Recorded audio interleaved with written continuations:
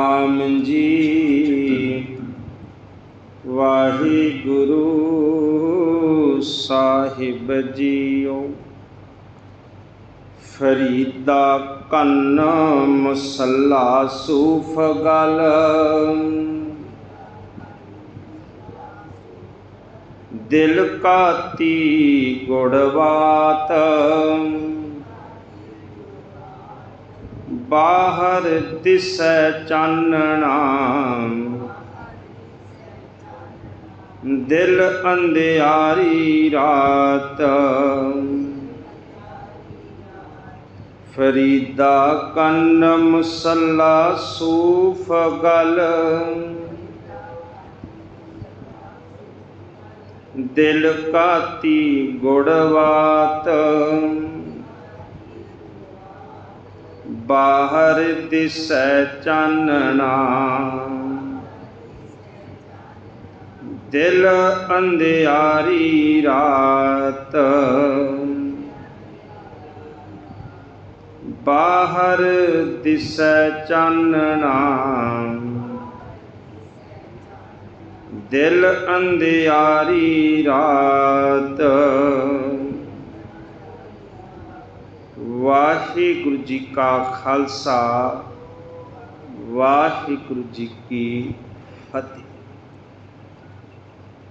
ਦੀਨ ਦੁਨੀ ਦੇ ਮਾਲਕ, ਧੰਨ ਧੰਨ ਸ੍ਰੀ ਗੁਰੂ ਗ੍ਰੰਥ ਸਾਹਿਬ, ਸੱਚੇ ਪਾਤਸ਼ਾਹ ਜੀ ਦੇ ਪਾਵਨ ਦਰਬਾਰ ਦੇ ਅੰਦਰ। ਸ਼ਬਾਈਮਾਨ ਗੁਰੂ ਪਿਆਰ ਵਾਲੇ ਗੁਰੂ ਸਵਾਰੀ ਸਤ ਸੰਗੀ ਜਨ ਭਗਤ ਬਾਬਾ ਫਰੀਦ ਸਾਹਿਬ ਜੀ ਦੇ ਪਾਵਨ ਸ਼ਲੋਕਾਂ ਦੀ ਚੱਲ ਰਹੀ ਲੜੀਵਾਰ ਵਿਚਾਰ ਦੇ ਅਧੀਨ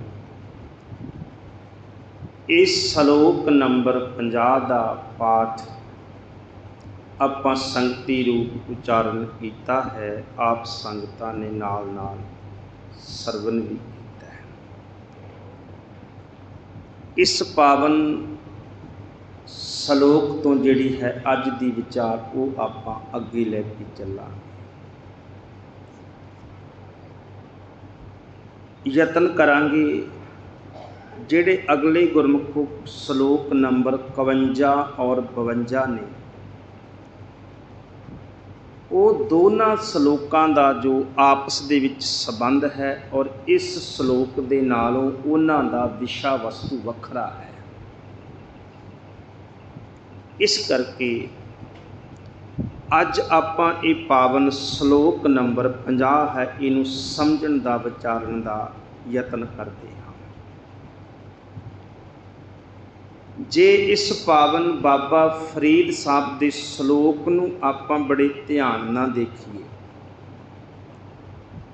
ਤੇ ਦੋ ਗੱਲਾਂ ਇਹਦੇ ਵਿੱਚੋਂ ਸਿੱਧੀਆਂ ਸਾਨੂੰ ਸਮਝ ਆ ਜਾਂਦੀਆਂ ਪਹਿਲੀ ਗੱਲ ਕਿ ਇਸ ਪਾਵਨ ਸ਼ਲੋਕ ਦੇ ਵਿੱਚ ਬਾਬਾ ਫਰੀਦ ਸਾਹਿਬ ਧਰਮੀ ਬੰਦੇ ਦੀ ਗੱਲ ਕਰ ਰਹੇ ਨੇ। ਤੇ ਧਰਮੀ ਮਨੁੱਖ ਦੀ ਗੱਲ ਕਰਦਿਆਂ ਉਹ ਬੰਦੇ ਦੇ ਬਾਹਰ ਦੇ ਪਹਿਰਾਵੇ ਦੀ ਤੇ ਉਹਦੇ ਅੰਦਰ ਦੀ ਅਵਸਥਾ ਨੂੰ ਬਿਆਨ ਕਰ ਰਹੇ ਨੇ। ਇੱਕ ਤੇ ਸਾਨੂੰ ਇਹ ਸਮਝ ਸੌਖਿਆਂ ਲੱਗ ਜਾਂਦੀ ਹੈ। ਦੂਸਰਾ ਇਸ ਪਾਵਨ ਸ਼ਲੋਕ ਵਿੱਚ ਬਾਬਾ ਫਰੀਦ ਸਾਹਿਬ ਜਿਹੜੇ ਧਾਰਮਿਕ ਚਿੰਨਾਂ ਦੀ ਗੱਲ ਕਰ ਰਹੇ ਨੇ,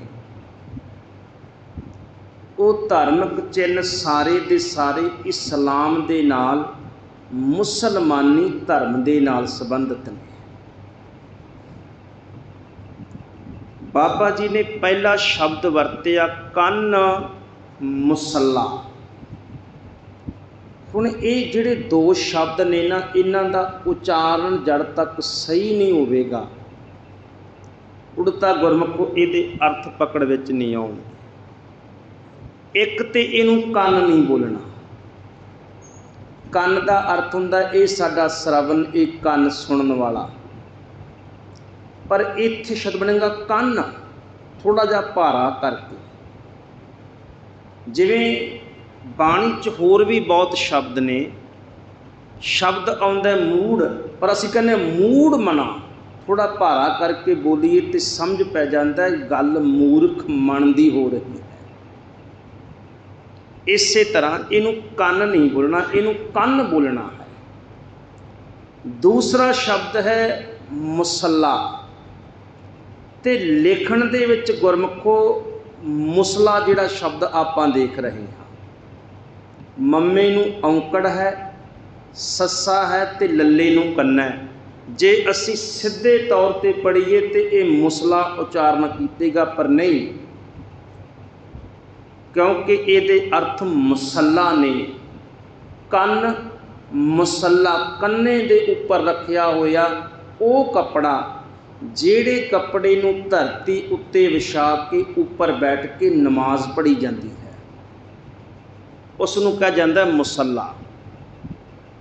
ਕਈ ਵਾਰ ਨਾ ਜਿਹੜੇ ਕੁਝ ਗੁਰਮੁਖ ਸੱਜਣ ਨੇ ਬਾਣੀ ਪੜਨ ਵਾਲੇ, ਉਹ ਕਈ ਇਹ ਸ਼ਬਦ ਉਚਾਰਨ ਕਰਦੇ ਨੇ, ਦੇਖੋ ਜਿੱਦਾਂ ਬਾਣੀ ਪੜ੍ਹੀ ਹੈ ਨਾ, ਲਿਖੀ ਹੋਈ ਹੈ ਕੇਵਲ ਉਦਾਂ ਪੜ੍ਹਨੀ ਚਾਹੀਦੀ ਹੈ। ਜਿੱਦਾਂ ਲਿਖੀ ਗਈ, ਸਿਰਫ ਉਸੇ ਤਰ੍ਹਾਂ ਨਾਲ ਪੜ੍ਹਨੀ ਚਾਹੀਦੀ ਹੁਣ ਗੁਰਮੁਖੋ ਜਿੱਦਾਂ ਲਿਖੀ ਗਈ ਹੈ ਜੇ ਉਚਾਰਨ ਵੀ ਆਪਾਂ ਉਦਾਂ ਕਰਾਂਗੇ, ਇਹਦੇ ਅਰਥ ਹੀ ਨਹੀਂ ਹੋ ਸਕਦੇ। ਕੰਦੇ ਉੱਤੇ ਮੁਸਲਾ ਕੀ ਅਰਥ ਕਰਾਂਗੇ ਜੀ? ਕਿਉਂਕਿ ਇਹ ਉਸ ਬਾਬਾ ਫਰੀਦ ਸਾਹਿਬ ਨੇ ਜਿਹੜੇ, ਉਹ ਇੱਕ ਤੇ ਇਸਲਾਮ ਜਗਤ ਨਾਲ ਸੰਬੰਧਿਤ ਨੇ। ਇਸ ਕਰਕੇ ਇਹ ਸ਼ਬਦ ਹੈ, ਇਹਨੂੰ ਅਦਕ ਲਾ ਕੇ ਹੀ ਬੋਲਣਾ ਪਏਗਾ ਮੁਸੱਲਾ। ਇਹ ਤਰੀਕਾ ਗੁਰੂ ਨਾਨਕ ਸਾਹਿਬ ਪਾਤਸ਼ਾਹ ਦੀ ਬਾਣੀ ਵਿੱਚ ਵੀ ਆਪਾਂ ਜਪਜੀ ਸਾਹਿਬ 'ਚ ਦੇਖਦੇ ਹਾਂ। ਜਦੋਂ ਪੜ੍ਹਦੇ ਹਾਂ, ਗੁਰੂ ਪਾਤਸ਼ਾਹ ਕਹਿੰਦੇ ਨੇ, ਚੰਗਿਆਈਆਂ ਬੁਰਿਆਈਆਂ ਵਾਚੈ ਧਰਮ ਹਦੂਰ, ਕਰਮੀ ਆਪੋ ਆਪਣੀ ਕੇ ਨੇੜੇ, ਕੇ ਦੂਰ, ਜਿਨੀ ਨਾਮ ਧਿਆਇਆ ਗਏ, ਮਸ਼ਕਤ ਕਾਲ। ਹੁਣ ਉੱਥੇ ਸ਼ਬਦ ਆਪਾਂ ਮਸ਼ਕਤ ਬੋਲਦੇ ਆ ਨਾ। ਮੰਮਾ ਹੈ ਤੇ ਸੱਸੇ ਦੇ ਪੈਰ 'ਚ ਬਿੰਦੀ ਲਾ ਕੇ ਉੱਪਰ ਅਦਕ ਲਾ ਕੇ ਬੋਲਦੇ ਆ। ਫੇਰ ਹੀ ਮਸ਼ਕਤ ਬਣੇਗਾ ਜੀ। ਪਰ ਨਾ ਉੱਥੇ ਪੈਰ 'ਚ ਬਿੰਦੀ ਏ, ਗੁਰਮੁਖੋ ਤੇ ਨਾ ਅਦਕ ਲੱਗਿਆ ਹੋਇਆ। ਜੇ ਇਦਾਂ ਬੋਲਾਂਗੇ ਤਾਂ ਮਸਤਕ ਬਣ ਜਾਏਗਾ ਜੀ। ਤੇ ਮਸਤਕ ਦੇ ਉੱਥੇ ਅਰਥ ਕੋਈ ਨਹੀਂ ਬਣਨੇ, ਨਾਲ ਸੰਬੰਧ ਨਹੀਂ ਰਲਣਾ। ਸ਼ਬਦ ਉੱਥੇ ਮਸ਼ਕਤ ਦਾ ਅਰਥ ਮਿਹਨਤ। ਘਾਲਣਾ ਘਾਲ ਕੇ ਗਏ, ਜਿਹੜੇ ਸੰਸਾਰ ਵਿੱਚ ਰਹਿੰਦੇ ਆ, ਮਿਹਨਤ ਨਾਮ ਦੀ ਕਮਾਈ ਕਰਕੇ ਗਏ। ਤਾਂ ਉਹਨੂੰ ਮਸ਼ਕਤ ਹੀ ਉਚਾਰਨ ਕਰਨਾ ਪਏਗਾ। ਅਦਕ ਲਾ ਕੇ ਇਸੇ ਤਰ੍ਹਾਂ ਦੇ ਨਾਲ ਇਸ ਸ਼ਬਦ ਨੂੰ ਵੀ ਫਰੀਦਾ, ਕੰਨ ਮੁਸੱਲਾ, ਮੇਰੇ ਕੰਧੇ ਦੇ ਉੱਪਰ ਮਸੱਲਾ ਹੈ। ਸੂਫ ਗਲ। ਸੂਫ ਦਾ ਅਰਥ ਹੁੰਦਾ ਕਾਲੀ ਖਫਣੀ। ਜਿਹੜੇ ਇਸਲਾਮ ਜਗਤ ਦੇ ਸੂਫੀ ਲੋਕ ਨੇ ਨਾ, ਉਹ ਗੁਰਮਖੋ ਕਈ ਵਾਰ ਤੇ ਉਹਨਾਂ ਦਾ ਪੂਰੇ ਦਾ ਪੂਰਾ ਕਹਿ ਲੋ ਸਿਰ ਤੋਂ ਲੈ ਕੇ ਪੈਰਾਂ ਤੱਕ ਸਾਰੇ ਪਹਿਰਾਵਾ ਹੀ ਕਾਲਾ ਹੁੰਦਾ ਕਈ ਵਾਰ। ਇਹ ਗਲ ਚ ਪਾਈ ਹੋਈ ਖਫਣੀ, ਮਸੂਫ ਗਲ, ਦਿਲ ਕਾਤੀ ਗੁੜਵਾਤ। ਪਹਿਲਾਂ ਗੱਲ ਪਹਿਰਾਵੇ ਦੀ ਕੀਤੀ ਵੀ ਕਾਲੀ ਖਫਣੀ ਪਾਈ ਹੈ। ਕੰਨੇ ਦੇ ਉੱਪਰ ਮੇਰੇ ਮੋਢੇ ਦੇ ਉੱਪਰ ਮਸੱਲਾ। ਕੰਦੇ ਦੇ ਉੱਪਰ ਮਸੱਲੇ ਦਾ ਅਰਥ ਬਣਦਾ ਹੈ ਵੀ ਮੈਂ ਪੰਜ ਵਕਤ ਦਾ ਨਮਾਜ਼ੀ ਹਾਂ, ਕਿਉਂਕਿ ਪੰਜ ਵਕਤ ਦਾ ਨਮਾਜ਼ੀ ਹੀ ਹਰ ਸਮੇਂ ਆਪਣੇ ਨਾਲ ਮੁਸੱਲਾ ਰੱਖਦਾ ਸੀ। ਇਹਦਾ ਅਰਥ ਕਿ ਪੰਜ ਵਕਤ ਦੇ ਨਮਾਜ਼ੀ ਬੰਦੇ ਦੀ ਗੱਲ ਹੋ ਰਹੀ ਹੈ, ਜਿਹੜਾ ਹਰ ਸਮੇਂ ਮੁਸੱਲਾ ਨਾਲ ਰੱਖਦਾ ਦੂਜਾ ਸੂਫ ਗਲ ਗਲ ਵਿੱਚ ਖਫਣੀ ਹੈ ਕਾਲੀ। ਇਹਦਾ ਵੀ ਅਰਥ ਬਣਦਾ ਵੀ ਆਮ ਇਨਸਾਨ, ਆਮ ਮੁਸਲਮਾਨ ਸਨ ਜਿਹੜੇ, ਉਹ ਗੁਰਮਖੋ ਕਾਲੀ ਖਫਣੀ ਨਹੀਂ ਸੀ ਪਾਉਂਦੇ। ਇਹਦਾ ਵੀ ਅਰਥ ਬਣਦਾ ਵੀ ਧਾਰਮਿਕ ਪਹਿਰਾਵੇ ਦੀ ਉਹ ਬੰਦਾ ਜਿਹੜਾ ਆਪਣੇ ਆਪ ਨੂੰ ਬਾਹਰੀ ਤੌਰ ਤੇ ਧਰਮੀ ਮੰਨ ਕੇ ਬੈਠਾ ਸੂਫ ਗੱਲ। ਪਰ ਨਾਲ ਬਚਨ ਕਿਹਾ ਦਿਲ, ਕਾਤੀ, ਕਾਤ ਦਾ ਅਰਥ ਕੈਂਚੀ। ਬਾਹਰੋਂ ਤੇ ਹੈ ਵਾਹਿਗੁਰੂ ਪਰਮੇਸ਼ਰ, ਮੇਰੀ ਆ ਹਾਲਤ ਤੇ ਪਹਿਰਾਵਾ ਤਾਂ ਮੇਰਾ ਆ ਬਾਹਰ ਦਾ। ਪਰ ਦਿਲ ਕਾਤੀ, ਮੇਰਾ ਦਿਲ ਕੈਂਚੀ ਵਰਗਾ ਹੈ। ਕੈਂਚੀ ਵਰਗਾ ਹੈ ਮੇਰਾ ਹਿਰਦਾ, ਕੈਂਚੀ ਵਰਗਾ ਗੁੜ, ਵਾਤ ਵਾਤ ਕਹਿੰਦੇ ਨੇ ਬਾਤਾਂ ਨੂੰ, ਗੱਲਾਂ ਨੂੰ, ਪਰ ਮੇਰੀ ਜ਼ੁਬਾਨ ਦੀਆਂ ਜਿਹੜੀਆਂ ਗੱਲਾਂ ਨੇ, ਗੁੜ ਦੇ ਵਰਗੀਆਂ ਮਿੱਠੀਆਂ ਨੇ। ਆ ਪ੍ਰਮਾਤਮਾ ਮੇਰਾ ਜੀਵਨ ਹੈ। ਮੇਰੇ ਕੰਨੇ ਦੇ ਉੱਪਰ ਮਸੱਲਾ ਹੈ ਕਿਉਂਕਿ ਮੈਂ ਪੰਜ ਵਕਤ ਦਾ ਨਮਾਜ਼ੀ ਹਾਂ। ਮੇਰੇ ਗਲ ਦੇ ਵਿੱਚ ਕਾਲੀ ਖਫਣੀ ਸੂਫ ਪਾਇਆ ਹੋਇਆ ਹੈ ਕਿਉਂਕਿ ਬਾਹਰੀ ਤੌਰ ਤੇ ਮੈਂ ਧਰਮ ਦਾ ਪ੍ਰਗਟਾਵਾ ਕਰਦਾ ਹਾਂ, ਧਰਮੀ ਖਵਾਉਂਦਾ ਹਾਂ। ਪਰ ਅੰਦਰ ਦੀ ਹਾਲਤ ਮੇਰੀ ਦਿਲ ਕਾਤੀ ਕਾਤੀ ਗੁਰਮੁਖੋ ਦਿਲ ਨੂੰ ਕਿਉਂ ਪਿਆ? ਕਾਤੀ ਦਾ ਅਰਥ ਹੈ ਕੈਂਚੀ। ਤੇ ਕੈਂਚੀ ਦਾ ਅਰਥ ਹੁੰਦਾ ਹੈ ਕੱਟਣ ਵਾਲੀ ਚੀਜ਼, ਪਾੜਨ ਵਾਲੀ ਚੀਜ਼। ਪਰ ਜਿਹੜਾ ਮੇਰਾ ਦਿਲ ਹੈ ਨਾ, ਦਿਲ ਮੇਰਾ ਕੈਂਚੀ ਬਣ ਗਿਆ ਦੋ ਚੀਜ਼ਾਂ ਗੁਰਮੁਖੋ ਜਦੋਂ ਕਿਸੇ ਕੱਪੜੇ ਸੀਨ ਵਾਲੇ ਕੋਲੇ ਜਾਏ ਥੋੜ੍ਹਾ ਸਮਝੋ ਥੋੜਾ ਜਿਹਾ ਦਿਲ ਕਾਤੀ ਦਾ ਕੀ ਅਰਥ ਬਣਦਾ ਹੈ? ਕਿ ਜਦੋਂ ਅਸੀਂ ਕੱਪੜੇ ਸੀਨ ਵਾਲੇ ਕੋਲੇ ਜਾਂਦੇ ਆ ਉਹ ਚੇਤਾ ਕਰੋ ਜੀ ਗ- ਭਾਈ ਵੀਰ ਸਿੰਘ ਇਸ ਗੱਲ ਨੂੰ ਬੜਾ ਕੋਟ ਕਰਦੇ ਨੇ ਦਿਲ ਕਾਤੀ ਨੂੰ। ਉਹ ਕਹਿੰਦੇ ਟੇਲਰ ਦੇ ਕੋਲੇ ਜਾਓ ਉਹਦੇ ਕੋਲੇ ਦੋ ਚੀਜ਼ਾਂ ਜ਼ਰੂਰ ਹੁੰਦੀਆਂ ਨੇ, ਇੱਕ ਸੂਈ ਹੁੰਦੀ ਹੈ ਤੇ ਕੈਂਚੀ ਹੁੰਦੀ ਹੈ। ਜਦੋਂ ਜੁੜੇ ਹੋਏ ਕੱਪੜੇ ਨੂੰ ਪਾੜਨਾ ਹੋਵੇ, ਉਦੋਂ ਕੈਂਚੀ ਵਰਤਦਾ ਹੈ ਤੇ ਜਦੋਂ ਪਾਟੇ ਹੋਏ ਨੂੰ ਜੋੜਨਾ ਹੋਵੇ, ਉਦੋਂ ਸੂਈ ਵਰਤਦਾ ਹੈ। ਤੇ ਉਹ ਨਾਲ ਲਿਖਦੇ ਨੇ, ਕਹਿਣ ਲੱਗੇ, ਦੁਨੀਆ ਦੇ ਲੋਕੋ ਧਿਆਨ ਨਾਲ ਦੇਖੋ, ਜਦੋਂ ਟੇਲਰ ਚੌਂਕੜਾ ਮਾਰ ਕੇ ਕੱਪੜੇ ਸੀਂਦਾ ਨਾ ਤੇ ਗੁਰਮੁਖੋ ਸੂਈ ਹੈ ਜਿਹੜੀ ਉਹ ਕਈ ਵਾਰ ਗਵਾ, ਕਿਉਂਕਿ ਛੋਟੀ ਹੁੰਦੀ ਹੈ ਉਹ ਗਵਾਚ ਨਾ ਜਾਏ, ਆਪਣੇ ਪੱਗ ਵਿੱਚ ਟੰਗ ਲੈਂਦਾ ਜਿਹੜੀ ਕੈਂਚੀ ਹੁੰਦੀ ਹੈ ਆਪਣੇ ਪੈਰਾਂ 'ਚ ਰੱਖ ਲੈਂਦਾ ਕੈਂਚੀ ਪੈਰਾਂ 'ਚ ਰੱਖਦਾ ਸੂਈ ਆਪਣੇ ਸਿਰ ਤੇ ਟੰਗਦਾ ਹੈ ਤੇ ਭਾਈ ਸਾਹਿਬ ਕਹਿੰਦੇ ਇਹਦੇ ਅਰਥ ਸਮਝ ਲੈਣੇ ਚਾਹੀਦੇ ਨੇ। ਸੂਈ ਜੋੜਦੀ ਹੈ ਤੇ ਕੈਂਚੀ ਤੋੜਦੀ ਹੈ। ਤੋੜਨ ਵਾਲੇ ਪੈਰਾਂ ਵਿੱਚ ਰੁਲ ਜਾਂਦੇ ਨੇ ਤੇ ਜੋੜਨ ਵਾਲੇ ਸਿਰ ਦਾ ਸ਼ਿੰਗਾਰ ਬਣ ਜਾਂਦੇ ਨੇ। ਉਹਨਾਂ ਸ਼ਬਦ ਵਰਤੇ ਤੋ ਖੈਰ ਦਿਲ ਕਾਤੀ ਦਿਲ ਕਾਤੀ ਦਾ ਅਰਥ ਹੈ ਮੇਰਾ ਦਿਲ ਕੈਂਚੀ ਵਰਗਾ ਹੈ, ਹਿਰਦਾ ਮੇਰਾ ਕੈਂਚੀ ਵਰਗਾ ਹੈ। ਇਹਨੇ ਕਿਸੇ ਨੂੰ ਅੜ ਤੱਕ ਜੋੜਿਆ ਕੋਈ ਨਹੀਂ ਸੱਚ ਨਾਲੋਂ ਤੋੜਿਆ ਹੀ ਹੈ। ਦਿਲ ਤੇ ਮੇਰਾ ਕੈਂਚੀ ਵਰਗਾ ਹੈ 24 ਘੰਟੇ ਤੋੜਦਾ ਹੈ। ਇਹ ਨਿੰਦਿਆ ਕਰਦਾ ਹੈ ਤੇ ਚੰਗੇ ਭਲੇ ਰਿਸ਼ਤਿਆਂ 'ਚ ਫਿੱਕ ਪਾ ਦਿੰਦਾ ਇਹ ਐਸੇ ਕਰਮਕਾਂਡ ਤੇ ਪਖੰਡ ਦੀ ਗੱਲ ਕਰਦਾ ਕਿ ਰੱਬ ਨਾਲੋਂ ਤੋੜ ਕੇ ਆਪਣੇ ਨਾਲ ਜੋੜ ਲੈਂਦਾ। ਰੱਬ ਨਾਲੋਂ ਤੋੜ ਦਿੰਦਾ ਇਦਾਂ ਦਿਲ ਕਾਤੀ ਗੁੜਵਾਤ ਪਰ ਮੇਰੇ ਜਿਹੜੀਆਂ ਜ਼ੁਬਾਨ ਦੀਆਂ ਗੱਲਾਂ ਨੇ ਗੁੜ ਵਰਗੀਆਂ ਮਿੱਠੀਆਂ ਅਗਲਾ ਸ਼ਬਦ ਹੈ, ਬਾਹਰ ਦਿਸੈ ਚਾਨਣਾ। ਦਿਲ ਅੰਧਿਆਰੀ ਰਾਤ ਬਾਹਰੋਂ ਤਾਂ ਚਾਨਣ ਦਿਖਦਾ ਪਿਆ, ਪਰ ਹਿਰਦੇ ਦੇ ਅੰਦਰ ਤਾਂ ਹਨੇਰਾ ਹੈ। ਇਹ ਸ਼ਬਦ ਨਹੀਂ ਵਰਤਿਆ ਵੀ ਚਾਨਣ ਹੈ। ਕਹਿਣ ਲੱਗੇ, ਦਿਸਦਾ ਪਿਆ ਚਾਨਣ। ਬਾਹਰ ਦਿਸੈ ਚਾਨਣਾ। ਜਦੋਂ ਲੋਕ ਮੈਨੂੰ ਬਾਹਰੀ ਤੌਰ ਤੇ ਦੇਖਦੇ ਨੇ ਤੇ ਚਾਨਣ ਲੱਗਦਾ ਹੈ। ਪਰ ਜੇ ਮੇਰੇ ਅੰਦਰ ਝਾਕੀਏ ਤੇ ਅੰਧਿਆਰੀ ਰਾਤ ਹੈ। ਭਾਵ ਦੇਖਣ ਨੂੰ ਕੁਝ ਹੋਰ ਹੈ, ਅਸਲੀਅਤ ਕੁਝ ਹੋਰ ਹੈ। ਇੰਨੇ ਗੁਰਮੁਖੋ ਇਹ ਅੱਖਰੀ ਅਰਥ ਬਣਦੇ ਨੇ, ਇਹਦੇ ਆਓ ਹੁਣ ਆਪਾਂ ਇਹਨੂੰ ਸਮਝੀਏ, ਬਾਬਾ ਜੀ ਕਹਿ ਕੀ ਰਹੇ ਨੇ? ਇੱਕ ਬਚਨ ਹੈ ਗੁਰੂ ਨਾਨਕ ਸਾਹਿਬ ਪਾਤਸ਼ਾਹ ਜੀ ਦਾ। ਭਾਵੇਂ ਇਤਿਹਾਸਕਾਰਾਂ ਨੇ ਇਹ ਲਿਖਿਆ ਵੀ ਉਹਦਾ ਸਬੰਧ ਸੱਜਣ ਠੱਗ ਦੇ ਨਾਲ, ਜੀਵਨ ਦੇ ਨਾਲ ਇਹ ਸ਼ਬਦ ਦਾ। ਪਰ ਆਪਾਂ ਸਾਖੀ ਵੱਲ ਨਹੀਂ ਜਾਣਾ, ਆਪਾਂ ਗੁਰੂ ਕੀ ਬਾਣੀ ਦੇ ਸ਼ਬਦ ਨੂੰ ਸਮਝਣਾ ਹੈ। ਗੁਰੂ ਨਾਨਕ ਸਾਹਿਬ ਪਾਤਸ਼ਾਹ ਨੇ ਤਿੰਨ ਉਦਾਹਰਨਾਂ ਲਈਆਂ। ਹੁਣ ਗੁਰਮੁਖੋ ਬਾਹਰੀ ਤੌਰ ਤੇ ਜੀ- ਗੁਰੂ ਨਾਨਕ ਸਾਹਿਬ ਪਾਤਸ਼ਾਹ ਉਹਦੇ ਕੋਲੇ ਗਏ। ਜੇ ਸੱਜਣ ਦੇ ਕੋਲੇ ਕਿਸੇ ਹਿੰਦੂ ਨੇ ਚਲੇ ਜਾਣਾ, ਉਹਨੇ ਰਾਮ ਰਾਮ ਕਹਿਣਾ। ਜੇ ਕਿਸੇ ਮੁਸਲਮਾਨ ਨੇ ਚਲੇ ਜਾਣਾ, ਉਹਨੇ ਅੱਲਾ ਅੱਲਾ ਕਹਿ ਕੇ ਪ੍ਰਸ਼ਾਦੇ ਪਾਣੀ ਦੀ ਸੇਵਾ ਕਰਨੀ, ਠਹਿਰ ਨੂੰ ਥਾਂ ਦੇਣਾ।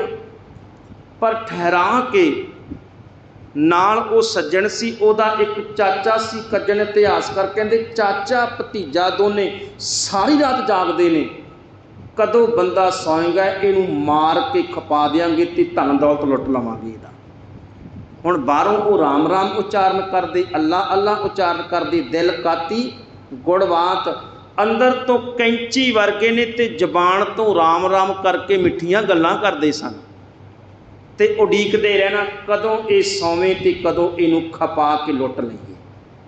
ਗੁਰੂ ਨਾਨਕ ਸਾਹਿਬ ਪਾਤਸ਼ਾਹ ਗਏ, ਬਾਬਾ ਜੀ ਨੇ ਕੀਰਤਨ ਕੀਤਾ ਤੇ ਤਿੰਨ ਬਚਨ ਕੀਤੇ ਉੱਥੇ ਬਾਣੀ 'ਚ। ਗੁਰੂ ਪਾਤਸ਼ਾਹ ਨੇ ਪਹਿਲਾ ਬਚਨ ਕਿਹਾ, ਕਹਿ ਦੇ ਭਾਂਡੇ ਦੀ ਗੱਲ ਬਾਬਾ ਜੀ ਨੇ ਕੀਤੀ। ਕਹਿਣ ਲੱਗੇ, ਕਹਿ ਦੇ ਭਾਂਡੇ ਨੂੰ ਧੁੱਪੇ ਰੱਖੀਏ ਤੇ ਬੜਾ ਪੁਰਾਣਾ ਸਮਾਂ ਸੀ ਗੁਰਮੁਖੋ, ਕਾਂਸੀ ਦੇ ਭਾਂਡੇ ਆਪਾਂ ਵਰਤਦੇ ਹੁੰਦੇ ਸਾਂ।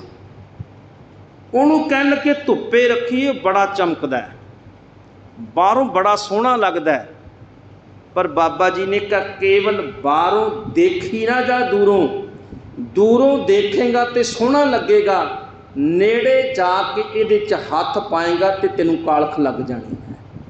ਬਾਹਰ ਦਿਸੈ, ਚਾਨਣਾ ਦਿਲ ਅੰਧਿਆਰੀ, ਰਾਤ ਬਾਹਰੋਂ ਦੇਖਣ ਨੂੰ ਕੁਝ ਹੋਰ ਹੈ।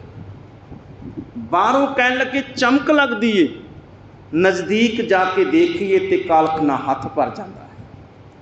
ਦੂਸਰਾ ਸ਼ਬਦ ਵਰਤਿਆ, ਬਾਬਾ ਜੀ ਨੇ ਕਿਹਾ, ਬਗਲੇ ਦੇ ਬੱਗੇ ਰੰਗ ਵੱਲ ਨਾ ਦੇਖੋ। ਜੇ ਕੱਲਾ ਬੰਦਾ ਬਗਲੇ ਦੇ ਚਿੱਟੇ ਰੰਗ ਵੱਲ ਦੇਖ ਲਵੇ ਤੇ ਭਲੇਖਾ ਖਾ ਜਾਏਗਾ ਕਿ ਤੀਰਥ ਉੱਤੇ ਬੈਠ ਕੇ ਅੱਖਾਂ ਬੰਦ ਕਰਕੇ ਭਗਤੀ ਕਰਦਾ ਪਿਆ ਪਰ ਗੁਰੂ ਨਾਨਕ ਸਾਹਿਬ ਪਾਤਸ਼ਾਹ ਕਹਿੰਦੇ, ਇਹਦੀਆਂ ਅੱਖਾਂ ਬੰਦ ਤੇ ਚਿੱਟਾ ਉੱਪਰ ਦਾ ਪਹਿਰਾਵਾ ਨਾ ਦੇਖੋ। ਕਹਿਣ ਲੱਗੇ, ਇਹਦੇ ਕਰਮ ਧਿਆਨ ਨਾਲ ਬੈਠ ਕੇ ਦੇਖੋ। ਇਹ ਅੱਖਾਂ ਬੰਦ ਕਰਕੇ ਭਗਤੀ ਨਹੀਂ ਕਰਦਾ ਪਿਆ, ਉਡੀਕਦਾ ਪਿਆ, ਡੱਡੂ ਕਦੋਂ ਕਿਨਾਰੇ ਤੇ ਆਵੇ ਤੇ ਮੈਂ ਮਾਰ ਕੇ ਖਾ ਜਾਵਾਂ। ਉਹਦੀਆਂ ਅੱਖਾਂ ਬੰਦ ਨੇ ਗੁਰਮਖੋ। ਪਰ ਅੱਖਾਂ ਬੰਦ ਕਰਨ ਦੇ ਪਿੱਛੇ ਕੋਈ ਭਲਾ ਨਹੀਂ। ਰੱਬ ਦੀ ਬੰਦਗੀ ਨਹੀਂ, ਕਿਸੇ ਦੀ ਮੌਤ ਹੈ। ਬਾਹਰ ਦਿਸੈ ਚਾਨਣਾ। ਤੀਸਰੀ ਉਦਾਹਰਨ, ਗੁਰੂ ਨਾਨਕ ਸਾਹਿਬ ਪਾਤਸ਼ਾਹ ਨੇ ਕਿਹਾ, ਸਿੰਬਲ ਦੇ ਰੁੱਖ ਨੂੰ ਦੇਖੋ। ਸਿੰਬਲ ਦਾ ਰੁੱਖ ਉੱਚਾ ਹੈ, ਪੱਤਿਆਂ ਦੇ ਉੱਤੇ ਹਰਿਆਵਲ ਹੈ ਤੇ ਫੁੱਲ ਵੀ ਬੜੇ ਲਾਲ ਸੂਹੇ ਦਿਖਦੇ ਨੇ। ਜੇ ਦੂਰ ਤੋਂ ਦੇਖੀਏ ਤੇ ਬੜਾ ਸੋਹਣਾ ਲੱਗਦਾ ਹੈ। ਤੇ ਤੋਤੇ ਇਸੇ ਭਲੇਖੇ ਵਿੱਚ ਆ ਕੇ ਉਹਦੇ ਉੱਪਰ ਬੈਠ ਜਾਂਦੇ ਨੇ ਕਿ ਰੰਗ ਬੜਾ ਸੋਹਣਾ, ਉੱਚਾ ਲੰਮਸ ਲੰਮਾ ਬੜਾ ਹੈ, ਫੁੱਲ ਬੜੇ ਸੋਹਣੇ। ਪਰ ਬਾਬਾ ਜੀ ਨੇ ਕਿਹਾ ਭਲੇਖੇ 'ਚ ਆ ਕੇ ਬੈਠਦਾ ਗਏ ਪਰ ਹੱਥ ਪੱਲੇ ਕੁਝ ਵੀ ਨਹੀਂ ਪਿਆ। ਕਈ ਲੋਕ ਸਿੰਬਲ ਦੀ ਤਰ੍ਹਾਂ ਹੁੰਦੇ ਨੇ, ਬਾਹਰੋਂ ਬੜੇ ਸੋਹਣੇ ਲੱਗਦੇ ਨੇ, ਪਰ ਕੋਲ ਬੈਠੀਏ ਪੱਲੇ ਕੁਝ ਵੀ ਨਹੀਂ ਪਾਉਂਦੇ, ਬੰਦਾ ਨਿਰਾਸ਼ ਹੋ ਕੇ ਤੁਰ ਜਾਂਦਾ ਹੈ। ਪਹਿਲੀ ਉਦਾਹਰਨ। ਦੂਜਾ ਕਿਹਾ ਕਈ ਲੋਕ ਬਗਲੇ ਵਰਗੇ ਹੁੰਦੇ ਨੇ। ਧਰਮ ਦੀ ਦੁਨੀਆ ਅੰਦਰ ਚਿੱਟੇ ਕੱਪੜੇ ਪਾ ਕੇ ਬੈਠੇ ਨੇ, ਪਰ ਪਿੱਛੇ ਭਾਵਨਾ ਕੁਝ ਹੋਰ ਹੁੰਦੀ ਹੈ। ਕਈ ਲੋਕਾਂ ਦਾ ਸੁਭਾਅ ਕਹਿ ਦੇ ਜੀਵਨ, ਕਹਿ ਦੇ ਭਾਂਡੇ ਵਰਗਾ ਹੁੰਦਾ ਹੈ। ਬਾਹਰੋਂ ਦੇਖੀਏ ਤੇ ਬੜੇ ਸਾਫ਼ ਲੱਗਦੇ ਨੇ, ਅੰਦਰੋਂ ਦੇਖੀਏ ਤੇ ਕਾਲਖ ਛਿਪੀ ਹੋਈ ਹੈ। ਤਿੰਨ ਸ਼- ਉਦਾਹਰਨ ਦਿੱਤੀਆਂ। ਪਹਿਲਾ ਬਚਨ ਕਿਹਾ ਉਜਲ ਕਹਿਹਾਂ ਚਿਲਕਨਾ ਘੋਟਮ ਕਾਲੜੀ ਮਸ ਤੋਤਿਆਂ ਜੂਠ ਨਾ ਉਤਰੈ ਜੇ ਸੋ ਤੋਵਾ ਤਿਸ। ਸ਼ਬਦ ਵਰਤਿਆ, ਬੱਗਾ, ਬੱਗੇ ਕੱਪੜੇ। ਬਗਲਾ ਹੈ ਉਹਦੇ ਕੱਪੜੇ, ਉਹਦਾ ਰੰਗ ਉਹਦੇ ਖੰਭ। ਕੱਪੜੇ ਦਾ ਅਰਥ ਹੈ ਖੰਭ। ਬੱਗੇ ਵੱਲ ਵੇਖੋ, ਉਹਦੇ ਖੰਭ ਬੜੇ ਚਿੱਟੇ ਨੇ। ਬੱਗਾ, ਬੱਗੇ ਕੱਪੜੇ ਤੀਰਥ ਮੰਝ ਸਨ। ਘੁੱਟ ਘੁੱਟ ਜੀਆਂ ਖਾਵਣੇ। ਬੱਗੇ ਨਾ ਕਈਆਂ ਇਹਨੂੰ ਬਗਲਾ ਨਾ ਕਹੋ। ਕਿਉਂਕਿ ਇਹ ਜੀਵਾਂ ਨੂੰ ਘੁੱਟ ਘੁੱਟ ਕੇ ਮਾਰਦਾ ਪਿਆ ਹੈ। ਤੀਸਰਾ ਬਚਨ ਕਿਹਾ ਸਿੰਬਲ ਰੁੱਖ ਸਰੀਰ ਮੈਂ। ਸਰੀਰ ਮੈਂ ਦਾ ਅਰਥ ਹੈ ਮੇਰਾ ਸਰੀਰ। ਕਹਿਣ ਲੱਗੇ, ਸਿੰਬਲ ਰੁੱਖ ਸਰੀਰ ਮੈਂ, ਮੈਜਣ ਦੇਖ ਭੁਲਨ। ਸਤਿਗੁਰੂ ਪਾਤਸ਼ਾਹ ਕਹਿੰਦੇ, ਬਸ ਬੰਦੇ ਦਾ ਸੁਭਾਅ ਸਿੰਬਲ ਦੇ ਰੁੱਖ ਵਰਗਾ ਬਣ ਗਿਆ ਤੇ ਪ੍ਰਮਾਤਮਾ ਸਰੀਰ ਮੇਰਾ ਵੀ ਸਿੰਬਲ ਦੇ ਰੁੱਖ ਵਰਗਾ ਹੈ। ਬਾਹਰੋਂ ਲੋਕ ਦੇਖਦੇ ਨੇ ਤੇ ਕੰਨ ਮਸੱਲਾ ਸੂਫ ਗੱਲ ਹੈ, ਅੰਦਰੋਂ ਦੇਖੀਏ ਤੇ ਦਿਲ ਅੰਧਿਆਰੀ ਰਾਤ ਹੈ। ਇਸੇ ਨੂੰ ਗੁਰਮਖੋ ਆਪਾਂ ਹੋਰ ਉਦਾਹਰਨਾਂ ਲਓ ਬਾਣੀ ਦੇ ਵਿੱਚ। ਇੱਥੇ ਗੱਲ ਚੱਲਦੀ ਪਈ ਏ, ਧਰਮੀ ਬੰਦਾ ਬਾਹਰ ਦੇਖਣ ਨੂੰ ਕੁਝ ਹੋਰ ਲੱਗਦਾ ਹੈ, ਉਹਦਾ ਅੰਦਰ ਕੁਝ ਹੋਰ ਹੈ।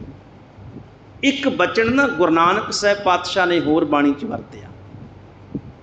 ਉਹ ਸ਼ਬਦ ਤੁਹਾਨੂੰ ਸਾਰਿਆਂ ਨੂੰ ਯਾਦ ਹੋਣਗੇ ਕਲ ਮੈਂ RAM ਨਾਮ ਸਾਰ ਗੁਰੂ ਨਾਨਕ ਸਾਹਿਬ ਪਾਤਸ਼ਾਹ ਗੁਰਮੁਖੋ ਜਿੰਨਾ ਕਟਾਕਸ਼ ਕਹਿ ਲਓ ਜਿੰਨੀ ਗੱਲਬਾਤ ਜਿੰਨੀ ਚਰਚਾ ਜਿੰਨੀਆਂ ਗੱਲਾਂ ਬਾਤਾਂ ਗਿਆਨ ਗੋਸ਼ਟੀਆਂ ਗੁਰੂ ਨਾਨਕ ਸਾਹਿਬ ਪਾਤਸ਼ਾਹ ਨੇ ਧਰਮੀ ਬੰਦਿਆਂ ਨਾਲ ਕੀਤੀਆਂ ਦੂਜਿਆਂ ਨਾਲ ਥੋੜਾ ਕੀਤੀਆਂ ਔਰ ਜਿੰਨਾ ਕਰਮ ਕਾਂਡ ਜਿੰਨੇ ਪਖੰਡ ਦੀਆਂ, ਇਹ ਕਹਿ ਲੋ ਵੱਖੀਆਂ ਉਧੇੜੀਆਂ ਬਾਬੇ ਨੇ ਬਾਣੀ 'ਚ, ਉਹ ਸਾਰੀਆਂ ਧਰਮੀ ਬੰਦਿਆਂ ਦੀਆਂ ਕੀਤੀਆਂ। ਕੀ ਕਾਰਨ ਸੀ ਜੀ?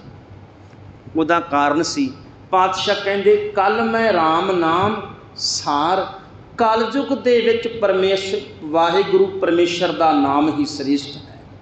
ਬਾਬਾ ਜੀ ਨੇ ਸ਼ੁਰੂਆਤ ਇੱਥੋਂ ਕੀਤੀ, ਰਹਾਉ ਦੀ ਪੰਕਤੀ ਕੱਲ ਮੈਂ ਕਲਯੁਗ ਦੇ ਵਿੱਚ RAM ਨਾਮ ਸਾਰ ਰੱਬ ਪਰਮੇਸ਼ਰ ਦਾ ਨਾਮ ਹੀ ਸ੍ਰੇਸ਼ਟ ਹੈ। ਪਰ ਦੁਨੀਆ ਕੀ ਕਰਦੀ ਪਈ ਏ? ਅੱਖੀ ਤਾਂ ਮੀਟੈ, ਨਾਕ ਪਕੜੈ, ਠੱਗਣ ਕੋ ਸੰਸਾਰ, ਲੋਕ ਅੱਖਾਂ ਬੰਦ ਕਰਕੇ ਬੈਠੇ ਨੇ। ਅੱਖੀ ਤਾਂ ਮੀਟੈ, ਨਾਕ ਪਕੜੈ, ਨੱਕ ਨੂੰ ਪਕੜ ਕੇ ਅੱਖਾਂ ਬੰਦ ਕਰਕੇ ਬੈਠੇ ਨੇ। ਕਹਿਣ ਲੱਗੇ, ਲੱਗਦਾ ਬਾਹਰੋਂ ਧਰਮ ਨਹੀਂ, ਪਰ ਅੰਦਰ ਦੀ ਭਾਵਨਾ ਠੱਗਣ ਕੋ ਸੰਸਾਰ ਹੈ। ਅੰਦਰ ਦੀ ਭਾਵਨਾ ਕੀ ਹੈ? ਠੱਗਣ ਦੇ ਲਈ। ਤੇ ਸਤਿਗੁਰੂ ਪਾਤਸ਼ਾਹ ਕਹਿੰਦੇ, ਦੇਖੋ, ਜਦੋਂ ਇਹਦੀ ਸ਼ੁਰੂਆਤ ਕਰਦੇ ਨੇ ਸ਼ਬਦ ਦੀ, ਉੱਥੇ ਬਾਬਾ ਜੀ ਨੇ ਸ਼ਬਦ ਵਰਤਿਆ, ਕਹਿਣ ਲੱਗੇ, ਕਾਲ ਨਾਹੀ, ਜੋਗ ਨਾਹੀ ਨਾਹੀ ਸਤ ਕਾਟਾ। ਸ਼ੁਰੂਆਤ ਇੱਥੋਂ ਹੁੰਦੀ ਸ਼ਬਦ ਦੀ। ਕਾਲ ਨਾਹੀ ਦਾ ਅਰਥ ਹੈ, ਇਸ ਕਾਲ ਨਹੀਂ ਹੈ, ਭਾਈ, ਇਹ ਸਮਾਂ ਨਹੀਂ ਹੈ, ਅੱਖਾਂ ਬੰਦ ਕਰਕੇ ਨੱਕ ਨੂੰ ਫੜ ਕੇ ਬੈਠਣ ਦਾ। ਕਿਉਂਕਿ ਪੰਕਤੀ ਹੋਈ ਹੈ ਨਾ, ਅੱਖੀ ਤਾਂ ਮਿਟਿਆ, ਨਾਕ ਪਕੜਾ ਪਾਤਸ਼ਾਹ ਕਹਿੰਦੇ, ਕਲਯੁਗ ਦਾ ਸਮਾਂ ਹੈ। ਕਲਯੁਗ ਦੇ ਸਮੇਂ ਦੇ ਵਿੱਚ ਭਾਈ ਆ ਕਰਮਕਾਂਡ ਕਰਨ ਦਾ ਸਮਾਂ ਨਹੀਂ, ਕਾਲ ਨਹੀਂ, ਜੋਗ ਨਹੀਂ। ਇਹ ਜੋਗ ਜੋਗ ਦਾ ਅਰਥ ਹੈ ਜੁੜਨਾ, ਪਰਮਾਤਮਾ ਨਾਲ ਜੁੜਨ ਦੀ ਯੁਕਤੀ ਵੀ ਨਹੀਂ। ਹੈ ਨਾ ਇਹ ਅੱਖਾਂ ਬੰਦ ਕਰਕੇ ਬੈਠਣ ਦਾ ਸਮਾਂ ਨਾ ਕਹਿਣ ਲੱਗੇ ਇਹ ਪਰਮਾਤਮਾ ਨਾਲ ਜੁੜਨ ਦੀ ਯੁਕਤੀ ਹੈ। ਅੱਖਾਂ ਬੰਦ ਕਰਕੇ ਨੱਕ ਨੂੰ ਪਕੜ ਕੇ ਬੈਠ ਜਾਣਾ। ਨਾ ਹੀ ਸਤ ਕਾ ਟੱਬ, ਪਾਤ ਸਤ ਦਾ ਅਰਥ ਹੈ ਉੱਚਾ ਆਚਰਣ ਤੇ ਨਾ ਹੀ ਉੱਚਾ ਆਚਰਣ ਬਣਾਉਣ ਦਾ ਇਹ ਕੋਈ ਤਰੀਕਾ ਹੈ। ਕਾਲ ਨਾਹੀ ਜੋਗ ਨਾਹੀ ਨਾਹੀ ਸਤ ਕਾ ਟੱਬ, ਪਰ ਬਾਬਾ ਜੀ ਨੇ ਕਿਹਾ ਥਾ ਨਸਤ ਜਗ ਭ੍ਰਿਸ਼ਟ ਹੋ ਬਹੁਤ ਕੀਮਤੀ ਬਚਨ ਹੈ ਥਾ ਨਸ਼ਟ ਜਗ ਦਾ ਕੀ ਅਰਥ ਹੈ ਜੀ? ਥਾਂ ਨਸ਼ਟ ਹੁੰਦਾ, ਸ੍ਰੇਸ਼ਟ ਥਾਂ, ਪਵਿੱਤਰ ਥਾਂ। ਪਾਤਸ਼ਾਹ ਕਹਿੰਦੇ, ਜਦੋਂ ਕੋਈ ਐਸਾ ਧਰਮੀ ਬੰਦਾ, ਧਰਮੀ ਬੰਦੇ ਜਿਹੜੇ ਬਾਹਰ ਤੋਂ ਚਾਨਣ ਵਾਲੇ ਲੱਗਦੇ ਨੇ, ਮਨ ਵਿੱਚ ਅੰਧਿਆਰੀ ਰਾਤ ਹੈ, ਜਿਹੜੇ ਬਾਹਰੋਂ ਗੁੜ ਵਰਗੀਆਂ ਗੱਲਾਂ ਕਰਦੇ ਨੇ, ਜ਼ੁਬਾਨ ਚੋਂ ਗੁੜ ਵਰਗੀਆਂ ਗੱਲਾਂ ਨੇ, ਮਨ ਵਿੱਚ ਕੈਂਚੀ ਹੈ, ਜਦੋਂ ਐਸੇ ਬੰਦੇ ਧਾਰਮਿਕ ਅਸਥਾਨ ਤੇ ਬੈਠਦੇ ਨੇ। ਥਾਂ ਨਸ਼ਟ, ਜਗ ਜੱਗ ਦੇ ਸ੍ਰੇਸ਼ਟ ਥਾਂ। ਥਾਂ ਦਾ ਕੀ ਅਰਥ? ਹੈ? ਪਵਿੱਤਰ ਥਾਂ। ਸੰਸਾਰ ਦੇ ਪਵਿੱਤਰ ਧਾਰਮਿਕ ਸਥਾਨ ਪ੍ਰਸ਼ਟ ਹੋਏ। ਬਾਬਾ ਜੀ ਨੇ ਕਿਹਾ, ਉਹ ਪਵਿੱਤਰ ਥਾਂ ਵੀ ਪ੍ਰਸ਼ਟ ਹੋ ਜਾਂਦੀ ਹੈ। ਥਾਨਾਸ਼ਟ ਜੱਗ ਜਗ ਪ੍ਰਸ਼ਟ ਹੋਏ ਡੂਬਤਾ ਇਵ ਜੱਗ। ਤੇ ਪਾਤਸ਼ਾਹ ਕਹਿੰਦੇ, ਜਦੋਂ ਪਵਿੱਤਰ ਧਾਰਮਿਕ ਸਥਾਨ ਹੀ ਪ੍ਰਸ਼ਟ ਹੋ ਗਏ, ਜਿਨ੍ਹਾਂ ਥਾਵਾਂ ਤੋਂ ਦੁਨੀਆ ਦੇ ਲੋਕਾਂ ਨੂੰ ਸੱਚ ਦਾ ਗਿਆਨ ਮਿਲਣਾ ਸੀ ਉੱਥੇ ਕਰਮ ਕਾਂਡ ਤੇ ਝੂਠ ਦੀਆਂ ਗੱਲਾਂ ਹੁੰਦੀਆਂ ਪਈਆਂ ਨੇ, ਸੰਸਾਰ ਖਤਮ ਹੋ ਰਿਹਾ ਹੈ। ਡੂਬਤਾ ਇਵ ਜਗ ਸੰਸਾਰ ਪਾਪਾਂ ਦੇ ਵਿੱਚ ਡੁੱਬ ਰਿਹਾ ਹੈ। ਕਿਉਂ ਡੁੱਬ ਰਿਹਾ ਜੀ? ਪਾਤਸ਼ਾਹ ਕਹਿਣ ਲੱਗੇ ਪਵਿੱਤਰ ਥਾਂ ਤਾਂ ਭ੍ਰਿਸ਼ਟ ਕਰ ਦਿੱਤੇ ਨੇ ਲਾਲਚੀ ਲੋਕਾਂ ਨੇ। ਇਸੇ ਜਦੋਂ ਅਸੀਂ ਸਵਈਏ ਪੜ੍ਹਦੇ ਹਾਂ ਗੁਰੂ ਗੋਬਿੰਦ ਸਿੰਘ ਪਾਤਸ਼ਾਹ ਕਿਉਂਕਿ ਸਾਰੀ ਜਿਹੜਾ ਇਹ ਸ਼ਲੋਕ ਹੈ ਨਾ ਇਹ ਅੰਦਰ ਤੇ ਗੁਰਮੁਖੋ ਬਾਹਰ ਦੀ ਗੱਲ ਕਰਦਾ ਧਰਮੀ ਬੰਦੇ ਬਾਹਰ ਤੋਂ ਧਰਮੀ ਕਹਾਣ ਵਾਲਾ ਧਰਮੀ ਕਹਾਣ ਵਾਲਾ ਬਾਹਰ ਤੋਂ ਕੁਝ ਹੋਰ ਹੈ ਅੰਦਰ ਤੋਂ ਕੁਝ ਹੋਰ ਹੈ। ਤੁਸੀਂ ਰੋਜ਼ਾਨਾ ਸਵਈਏ ਪੜ੍ਹਦੇ ਗੁਰੂ ਗੋਬਿੰਦ ਸਿੰਘ ਪਾਤਸ਼ਾਹ ਦੇ। ਕਹਾਂ ਪਿਓ ਦੋ ਲੋ, ਦੋ ਲੋਚਨ ਮੂੰਦਕ ਹੈ। ਕਹਾਂ ਪਿਓ ਦਾ ਥਾ ਕੀ ਹੋਇਆ? ਪਾਤਸ਼ਾਹ ਕਹਿੰਦੇ ਕੀ ਹੋ ਗਿਆ? ਤੂੰ ਆ ਦੋ ਅੱਖਾਂ ਬੰਦ ਕਰਕੇ ਚੌਂਕੜੀ ਮਾਰ ਕੇ ਬਹਿ ਗਿਆ। ਕਹਾਂ ਪਿਓ ਜੋ ਦੋ ਲੋਚਨ ਮੂੰਦ ਕੇ ਬੈਠ ਰਹੋ ਵਕ ਧਿਆਨ ਲਗਾਇਓ। ਕੀ ਹੋਇਆ ਅੱਖਾਂ ਬੰਦ ਕਰਕੇ ਤੂੰ ਬਗਲੇ ਵਾਂਗ ਧਿਆਨ ਲਾ ਕੇ ਬਹਿ ਗਿਆ? ਨਹਾਤ ਫਿਰਿਓ ਲਈ ਸਾਤ ਸਮੁੰਦਰਨ। ਕੀ ਹੋਇਆ ਜੇ ਤੂੰ ਸੱਤਾ ਸਮੁੰਦਰਾਂ ਦੇ ਉੱਤੇ ਵੀ ਨਾ ਲਿਆ? ਲੋਕ ਗਇਓ, ਪਰ ਲੋਕ ਗਵਾਇਓ ਪਾਤਸ਼ਾਹ ਕਹਿੰਦੇ, ਤੇਰੀ ਹਾਲਤ ਇਹ ਹੈ, ਆ ਬਾਹਰ ਦੇ ਕਰਮ ਕਾਂਡਾਂ ਕਰਕੇ ਲੋਕ ਵੀ ਗਵਾਚ ਗਿਆ ਤੇ ਪਰਲੋਕ ਵੀ ਗਵਾਚ ਗਿਆ। ਗੁਰਮੁਖੋ, ਲੋਕ ਕਿਉਂ ਗਵਾਚਿਆ? ਲੋਕ ਦਾ ਅਰਥ ਹੈ ਆ ਜੀਵਨ। ਲੋਕ ਇਸ ਕਰਕੇ ਗਵਾਚ ਗਿਆ ਕਿਉਂਕਿ ਬਾਹਰੀ ਹੀ ਸ਼ਿੰਗਾਰ ਤੇ ਜ਼ੋਰ ਦਿੰਦਾ ਰਿਹਾ। ਧਰਮੀ ਅਖਵਾਉਣ ਤੇ ਹੀ ਜ਼ੋਰ ਦਿੰਦਾ ਰਿਹਾ। ਲੋਕ ਗਵਾਚ ਗਿਆ ਤੇ ਪਰਲੋਕ ਇਸ ਕਰਕੇ ਗਵਾਚਿਆ ਕਿਉਂਕਿ ਪਰਲੋਕ ਦੇ ਵਿੱਚ ਤੇ ਪਰਮਾਤਮਾ ਦੇ ਨਾਮ ਦੀ ਕੀਮਤ ਪੈਣੀ ਸੀ, ਉਹ ਜਪਿਆ ਹੀ ਕੋਈ ਨਹੀਂ। ਲੋਕ ਗਵਾਚਿਆ, ਕਿਉਂਕਿ ਬਾਹਰੀ ਬਾਹਰੀ ਤੌਰ ਤੇ ਦਿਖਾਵਾ ਹੀ ਕਰਦਾ ਰਿਹਾ ਤੇ ਪਰਲੋਕ ਇਸ ਕਰਕੇ ਗਵਾਚਿਆ ਜਿਸ ਦੀ ਕੀਮਤ ਪਰਲੋਕ ਵਿੱਚ ਪੈਣੀ ਸੀ, ਉਹ ਪਰਮਾਤਮਾ ਦੇ ਨਾਮ ਨੂੰ ਜਪਿਆ ਹੀ ਨਹੀਂ। ਕਹਾਂ ਭਇਓ ਜੋ ਦੋ ਲੋਚਨ ਮੁੰਦਕੈ ਬੈਠ ਰਹਿਓ ਬਕ ਧਿਆਨ ਲਗਾਇਓ, ਨਹਾਤ ਫਿਰਿਓ, ਲੀਏ ਸਾਤ ਸਮੁੰਦਰਨ, ਲੋਕ ਗਇਓ, ਪਰ ਲੋਕ ਗਵਾਇਓ, ਬਾਸ ਕੀਓ, ਬਖਿਆਨ ਸੋ ਬੈਠ ਕੇ। ਪਾਤਸ਼ਾਹ ਕਹਿੰਦੇ, ਕੀ ਹੋਇਆ ਜੇ ਉੱਚੀ ਥਾਂ ਉੱਤੇ ਬੈਠ ਕੇ ਗੱਲਾਂ ਦਾ ਬਖਿਆਨ ਕਰਨ ਲੱਗ ਪਿਆ? ਗਿਆਨੀਆਂ ਦੀ ਗੱਲ ਵੀ ਕੀਤੀ ਨਾ ਬਾਬਾ ਜੀ ਨੇ। ਕੀ ਹੋਇਆ? ਕਹਾਂ ਪਿਓ? ਕੀ ਹੋਇਆ ਜੇ ਉੱਚੀ ਥਾਂ ਤੇ ਬੈਠ ਕੇ ਵਿਖਿਆਨ ਕਰਨ ਲੱਗ ਪਿਆ ਤੇ? ਬਾਸ ਕੀਓ ਬਖਿਆਨ ਸੋ ਬੈਠ ਕੇ ਐਸੇ ਹੀ ਐਸੇ ਸੋ। ਬੈਸ ਬਤਾਇਓ, ਸਾਚ ਕਹੋ, ਸੁਣ ਲੇਹੋ ਸਬੈ ਪਾਤਸ਼ਾਹ ਕਹਿੰਦੇ, ਮੈਂ ਸੱਚ ਕਹਿ ਰਿਹਾ, ਦੁਨੀਆ ਦੇ ਲੋਕੋ ਸੁਣ ਲਵੋ। ਆ ਨੇਤਰ ਬੰਦ ਕਰਕੇ ਬਗਲੇ ਵਾਂਗ ਗੱਲ ਕੋਈ ਨਹੀਂ ਬਾਨੀ। ਪਰਮੇਸ਼ਰ ਤਾਂ ਉਹਨਾਂ ਨੇ ਪਾਇਆ, ਜਿਨ੍ਹਾਂ ਨੇ ਅੰਦਰ ਦਾ ਪ੍ਰੇਮ ਪੈਦਾ ਕੀਤਾ ਹੈ। ਜਿਨ੍ਹਾਂ ਨੇ ਅੰਦਰ ਤੋਂ ਪ੍ਰੇਮ ਪੈਦਾ ਕੀਤਾ, ਸਾਚ ਕਹੋ, ਸੁਣ ਲੇਹੋ ਸਬੈ ਜਿਨ ਪ੍ਰੇਮ ਕੀਓ ਤਿਨ ਹੀ ਪ੍ਰਭ ਪਾਇਓ, ਪਰਮਾਤਮਾ ਬਾਹਰ ਦੇ ਚੌਂਕੜੇ ਨਹੀਂ ਦੇਖਦਾ, ਬਾਹਰ ਦਾ ਤੀਰਥ ਇਸ਼ਨਾਨ ਨਹੀਂ ਦੇਖਦਾ। ਪਾਤਸ਼ਾਹ ਕਹਿੰਦੇ, ਇਹ ਤਾਂ ਦੁਨੀਆ ਦੇਖਦੀ ਏ, ਪਰਮਾਤਮਾ ਤੇ ਅੰਦਰ ਦਾ ਪ੍ਰੇਮ ਦੇਖਦਾ। ਹੈ ਜਿਨ ਪ੍ਰੇਮ ਕੀਓ ਤਿਨ ਹੀ, ਪ੍ਰਭ ਪਾਇਓ। ਕਾਹੂ ਲੈ ਪਾਹਣ ਪੂਜ ਧਰਿਓ ਸਰ? ਫਿਰ ਬੰਦਿਆਂ ਜਦੋਂ ਪਰਮਾਤਮਾ ਦੇਖਦਾ ਹੀ ਪਿਆਰ ਹੈ ਅੰਦਰ ਦਾ, ਫਿਰ ਤੂੰ ਕਿਉਂ ਆ ਬਾਹਰ ਪੱਥਰ ਬਨ ਕੇ ਬੈਠਾ ਕਾਹੂ ਲੈ ਪਾਹਣ? ਕਿਉਂ ਫਿਰ ਪੱਥਰ ਦੀ ਪੂਜਾ ਕਰਦਾ ਪਿਆ? ਉਹ ਤਾਂ ਪ੍ਰੇਮ ਦੇਖਦਾ ਹੈ। ਕਾਹੂ ਲੈ ਪਾਹਣ ਪੂਜ ਧਰਿਓ, ਸਿਰ ਕਾਹੂ ਲੈ ਲਿੰਗ ਗਰੇ ਲਟਕਾਇਓ। ਗਿਲੰਗ ਗਰਟ ਅਰਥ ਬਣਦਾ ਗੁਰਮਖੋ, ਲੋਕ ਸ਼ਿਵਲਿੰਗ ਛੋਟਾ ਜਿਹਾ ਬਣਾ ਕੇ ਗਲ ਚ ਪਾ ਲੈਂਦੇ ਆ ਹੁੰਦਾ, ਕੱਲਾ ਸ਼ਿਵਲਿੰਗ ਹੀ ਕਿਉਂ? ਆ ਕਈ ਛੋਟੇ ਛੋਟੇ ਸਿੱਖ ਸਾਡੇ ਸਿੱਖ ਕਿਰਪਾਨਾਂ ਨਿੱਕੀਆਂ ਨਿੱਕੀਆਂ ਪਾਈ ਫਿਰਦੇ ਹੁੰਦੇ ਆ ਇੱਥੇ। ਛੋਟੀ ਜੀ ਕਿਰਪਾਨ ਏਡੀ ਕ ਇੱਥੇ ਇੱਥੇ ਪਾਈ ਫਿਰਦੇ ਹੁੰਦੇ। ਕਈ ਤਾਂ ਨਾਲ ਕੰਗਾ ਬੰਨੀ ਫਿਰਦੇ ਹੁੰਦੇ ਆ ਨਾਲ ਇੱਥੇ। ਇਹਦੇ ਨਾਲ ਕੀ ਹੋ ਜਾਏਗਾ ਜੀ?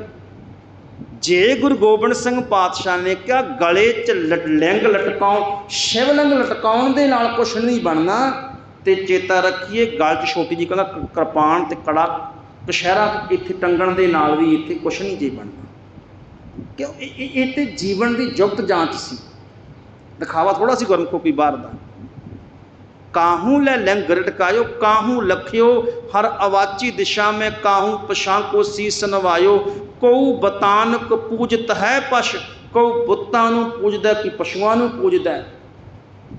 ਕਉ ਮਿਰਤਾਨਕ ਪੂਜਣ ਤਾਇਓ ਕੋਈ ਆਪਣੇ ਮੁਰਦਿਆਂ ਨੂੰ ਪੂਜਣ ਤੇ ਲੱਗਿਆ ਪਿਆ ਹੈ। ਗੁਰੂ ਕਲਗੀਧਰ ਪਾਤਸ਼ਾਹ ਕਹਿੰਦੇ ਕੂਰ ਕਿਰਿਆ ਔਰ ਜੋ ਸਭ ਹੀ ਜਗ ਸ੍ਰੀ ਭਗਵਾਨ ਕੋ ਭੇਦ ਨਾ ਪਾਇਓ। ਸੱਚ ਦਾ ਭੇਦ ਕਿਸੇ ਨਹੀਂ ਪਾਇਆ, ਝੂਠ ਦੀ ਕਿਰਿਆ 'ਚ ਲੋਕ ਉਲਝੇ ਪਏ ਨੇ। ਬਾਹਰੀ ਦਿਖਾਵੇ ਤੇ ਲੋਕ ਜ਼ੋਰ ਦੇ ਰਹੇ ਨੇ। ਪਰ ਉਹ ਸਿੱਧਾ ਹੀ ਅਰਥ ਬਣਿਆ ਨਾ। ਵੀ ਜਿੰਨਾ ਬੰਦੇ ਦਾ ਜ਼ੋਰ ਲੱਗਿਆ, ਸੌਖਾ ਆਪਾਂ ਸਮਝ ਲਓ ਇਸ ਸ਼ਲੋਕ ਨੂੰ, ਜਿੰਨਾ ਗੁਰਮੁਖੋ ਅੱਜ ਵੀ ਜ਼ੋਰ ਲੱਗਾ। ਦੇਖੋ ਆ ਜਿਹੜੇ ਸ਼ਲੋਕ ਨੇ ਨਾ ਬਾਬਾ ਫਰੀਦ ਸਾਹਿਬ ਦੇ, ਲਗਭਗ ਇਹ ਕਹਿ ਲਓ ਵੀ 700 ਸਾਲ ਪਹਿਲਾਂ ਦੇ ਨੇ। ਬਾਬਾ 7 800 800 800 ਸਾਲ ਪਹਿਲਾਂ ਦੇ ਕਰ ਲਓ। ਆ ਸ਼ਬਦ ਗੁਰਮੁਖੋ 800 ਸਾਲ ਪਹਿਲਾਂ ਕਹੇ ਬਾਬਾ ਫਰੀਦ ਸਾਹਿਬ ਨੇ। ਕਿਉਂਕਿ ਜਨਮ ਹੈ ਜਿਹੜਾ ਬਾਬਾ ਫਰੀਦ ਸਾਹਿਬ ਦਾ, ਉਹ 1173 ਦਾ ਹੈ। ਤੁਸੀਂ ਲਾ ਕੇ ਦੇਖ ਲਓ ਅੱਜ ਕਿੰਨੇ ਸਾਲ ਹੋ ਗਏ। ਹੁਣ 800 ਸਾਲ ਪਹਿਲਾਂ ਕਹੇ ਹੋਏ ਬਚਨ ਅੱਜ ਵੀ ਪੂਰਨ ਤੌਰ ਤੇ ਉਦਾਂ ਟੁਕਦੇ ਨੇ। ਅੱਜ ਵੀ ਬੰਦੇ ਦੀ ਵਿਆਖਿਆ ਕਰਦੇ ਪਏ ਨੇ, ਬੰਦਿਆ ਤੂੰ ਇਦਾਂ ਦਾ ਹੈ। ਉਹਦਾ ਕਾਰਨ ਹੈ। ਇੱਕੋ ਹੀ ਕਾਰਨ ਹੈ, ਭਾਵੇਂ ਉੱਚਾ ਬੈਠਣ ਵਾਲਾ ਹੈ ਤੇ ਭਾਵੇਂ ਗੁਰਮੁਖੋ ਥੱਲੇ ਬੈਠਣ ਵਾਲਾ ਹੈ। ਬੰਦਾ ਧਰਮੀ ਅਖਵਾਉਣ ਤੇ ਜ਼ੋਰਦਾ ਦੁਨੀਆ ਦੇ ਲੋਕ ਮੈਨੂੰ ਧਰਮੀ ਕਹਿਣ। ਸਮਾਪਤੀ ਕਰ ਗਿਆ ਆਪਾਂ। ਜਿੰਨਾ ਸਾਰਾ ਜ਼ੋਰ ਹੈ ਨਾ, ਉਹ ਸਾਰਾ ਜ਼ੋਰ ਗੁਰਮੁਖੋ ਸਾਡਾ ਬਾਹਰੀ ਤੌਰ ਤੇ ਲੱਗਿਆ ਪਿਆ ਪਰ ਭਾਈ ਗੁਰਦਾਸ ਸਾਹਿਬ ਇੱਕ ਉਦਾਹਰਨ ਦਿੰਦੇ ਨੇ ਬਾਬਾ ਨਾਨਕ ਸਾਹਿਬ ਦੀ। ਕਹਿਣ ਲੱਗੇ ਫਿਰ ਬਾਬਾ ਆਇਆ ਕਰਤਾਰਪੁਰ ਫਿਰ ਬਾਬਾ ਆਇਆ ਕਰਤਾਰਪੁਰ ਦਾ ਅਰਥ ਬਣਦਾ ਜਦੋਂ ਗੁਰੂ ਨਾਨਕ ਸਾਹਿਬ ਪਾਤਸ਼ਾਹ ਨੇ ਆਪਣੇ ਪ੍ਰਚਾਰਕ ਦੌਰੇ ਸਮਾਪਤ ਕਰਕੇ ਅਖੀਰਲੇ ਸਮੇਂ ਕਰਤਾਰਪੁਰ ਸਮਾਂ ਗੁਜ਼ਾਰਿਆ ਫਿਰ ਬਾਬਾ ਆਇਆ ਕਰਤਾਰਪੁਰ ਮੰਜੀ ਬੈਠ ਕੀਆ ਅਵਤਾਰਾ ਫਿਰ ਮੰਜੀ ਉੱਤੇ ਬੈਠ ਕੇ ਬਾਬੇ ਨੇ ਦੁਨੀਆ ਦਾ ਉਧਾਰ ਕਰਨਾ ਸ਼ੁਰੂ ਕੀਤਾ ਤੇ ਅਗਲਾ ਸ਼ਬਦ ਵਰਤਿਆ, ਕਹਿਣ ਲੱਗੇ, ਮੰਜੀ ਬੈਠ ਕੀਆ ਉਤਾਰਾ ਪੈਨ ਸੰਸਾਰੀ ਕੱਪੜੇ। ਪੇਖ ਉਦਾਸੀ ਸਕਲ ਉਤਾਰਾ। ਬਾਬੇ ਨੇ ਜਿਹੜਾ ਆਪਣਾ ਧਰਮੀਆਂ ਵਾਲਾ ਭੇਖ ਸੀ ਨਾ, ਧਰਮੀਆਂ ਵਾਲਾ ਭੇਖ ਕਿਉਂਕਿ ਗੁਰੂ ਨਾਨਕ ਸਾਹਿਬ ਪਾਤਸ਼ਾਹ ਜਦੋਂ ਤੀਰਥ ਸਥਾਨਾਂ ਤੇ ਜਾਂਦੇ ਨੇ, ਮੰਦਰਾਂ 'ਚ ਜਾਂਦੇ ਨੇ, ਉਦੋਂ ਪਹਿਰਾਵਾ ਗੁਰਮੁਖ ਉਦਾਂ ਦਾ ਪਾ ਲੈਂਦੇ ਆ। ਜਦੋਂ ਬਾਬਾ ਜੀ ਮੱਕੇ ਮਦੀਨੇ ਜਾਂਦੇ ਨੇ ਪਹਿਰਾਵਾ, ਉਹਨਾਂ ਵਾਲਾ ਪਾ ਲੈਂਦੇ ਆ। ਜਦੋਂ ਜੋਗੀਆਂ ਦੇ ਕੋਲੇ ਸਮੇਰ ਪਰਬਤ ਤੇ ਜਾਂਦੇ ਨੇ, ਹੁਣ ਉੱਥੇ ਪਤਾ ਹੀ ਨਹੀਂ ਕਿੰਨੇ ਕਿੰਨੇ ਸੈਂਕੜੇ ਫੁੱਟ ਬਰਫ਼ ਜੰਮੀ ਹੈ ਉੱਥੇ ਪਹਿਰਾਵਾ ਉਹ ਜਾ ਪਾਇਆ ਸੀ। ਲੋੜ ਸੀ ਨਾ ਸਮੇਂ ਦੀ। ਤੇ ਜਦੋਂ ਬਾਬਾ ਕਰਤਾਰਪੁਰ ਆਇਆ, ਸਤਿਗੁਰੂ ਪਾਤਸ਼ਾਹ ਨੇ ਸਾਰੇ ਜਿਹੜੇ ਸੀ ਧਰਮ ਦੇ ਪਹਿਰਾਵਿਆਂ ਨੂੰ ਪਰੇ ਕਰਕੇ ਬਾਬਾ ਜੀ ਨੇ ਸੰਸਾਰੀ ਆਮ ਲੋਕਾਂ ਵਾਲੇ ਕੱਪੜੇ। ਸੰਸਾਰੀ ਦਾ ਅਰਥ ਹੈ ਸੰਸਾਰ ਦੇ ਲੋਕਾਂ ਵਰਗੇ ਆਮ ਕੱਪੜੇ ਪਹਿਨ ਲੈ ਕਿਉਂਕਿ ਬਾਬਾ ਕਿਸੇ ਨੂੰ ਪਹਿਰਾਵੇ ਨਾਲ ਨਹੀਂ ਸੀ ਜੋੜਨਾ ਚਾਹੁੰਦਾ, ਵੀ ਬੰਦਾ ਪਹਿਰਾਵੇ ਤੋਂ ਪ੍ਰਭਾਵਿਤ ਹੋ ਜਾਏ ਪੈਰ ਸੰਸਾਰੀ ਕੱਪੜੇ ਮੰਜੀ ਬੈਠ ਕੀਆ ਔਤਾਰਾ, ਕਹਿਣ ਲੱਗੇ ਮੰਜੇ ਉੱਤੇ ਬੈਠ ਕੇ ਸਤਿਗੁਰੂ ਪਾਤਸ਼ਾਹ ਆਮ ਲੋਕਾਂ ਦੇ ਵਾਂਗ ਸੰਸਾਰ ਵਿੱਚ ਵਿਚਰਦੇ ਸਨ। ਤੇ ਗੁਰਮੁਖੋ, ਇਹ ਇਹ ਸੱਚ ਹੈ ਜੋਗੀ ਆਉਂਦੇ, ਧਿਆਨੀ ਆਉਂਦੇ, ਜੱਪੀ ਤੱਪੀ ਆਉਂਦੇ। ਬਾਬੇ ਨੇ ਨਗਰ ਵਸਾਇਆ, ਬਾਬੇ ਦਰਸ਼ਨ ਕਰਨ ਵਾਸਤੇ ਚੱਲਦੇ ਆ। ਤੇ ਲੋਕਾਂ ਨੇ ਪੁੱਛਣਾ ਆ ਕੇ, ਗੁਰੂ ਸਾਹਿਬ ਪਾਤਸ਼ਾਹ ਕਿੱਥੇ ਨੇ? ਤੇ ਜਾ ਕੇ ਮਾਤਾ ਮਾਤਾ ਸੁਲੱਖਣੀ ਨੇ ਕਹਿਣਾ, ਖੇਤ ਗਏ ਹੋਏ ਨੇ, ਅੱਜ ਭਾਈ ਉੱਥੇ ਫਸਲ ਕੱਟਣੀ ਹੈ। ਅੱਜ ਪਾਣੀ ਲਾ ਰਹੇ ਨੇ ਖੇਤਾਂ ਨੂੰ, ਤੇ ਦੁਨੀਆ ਬੜੀ ਹੈਰਾਨ ਹੁੰਦੀ ਵੀ ਜਿਸ ਬਾਬੇ ਅੱਗੇ ਸਾਰੀ ਦੁਨੀਆ ਝੁੱਕ ਗਈ ਵੱਡੇ ਵੱਡੇ ਧਰਮੀ ਚੁੱਕੇ ਜੋਗੀ ਝੁਕੇ, ਉਹ ਬਾਬਾ ਖੇਤਾਂ ਨੂੰ ਪਾਣੀ ਲਾ ਰਿਹਾ ਮਨ ਵਿੱਚ ਕੀ ਹੁੰਦਾ ਸੀ ਵੀ ਏਦਾਂ ਬਾਬਾ ਉੱਚਾ ਆਸਾ ਲਾ ਕੇ ਬੈਠਾ ਹੋਵੇਗਾ, ਆਸੇ-ਪਾਸੇ ਚੇਲੇ ਚਪੱਟੇ ਬੈਠੇ ਹੋਣਗੇ, ਏਦਾਂ ਛਤਰ ਝੂਲਦੇ ਹੋਣਗੇ, ਏਦਾਂ ਬਾਬੇ ਦੀ ਵਡਿਆਈ ਜੋਗੀਆਂ ਸਤੀਆਂ ਵਾਲੀ ਹੋਵੇਗੀ ਤੇ ਬਾਬਾ ਖੇਤਾਂ 'ਚ ਗੁਰਮੁਖੋ ਪਾਣੀ ਲਾਉਂਦਾ ਹੁੰਦਾ ਸੀ।